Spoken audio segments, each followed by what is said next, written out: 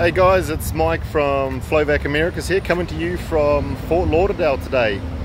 Uh, we've just completed a renovation of a vacuum pump out for these uh, super yachts here at Smoker Park and Sailboat Bend.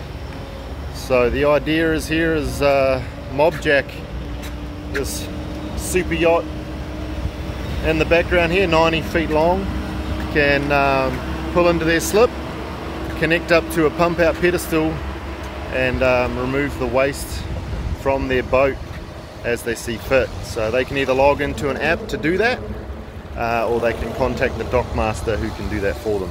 So again, it's Mike here, Flovac Americas, Fort Lauderdale Pump Out.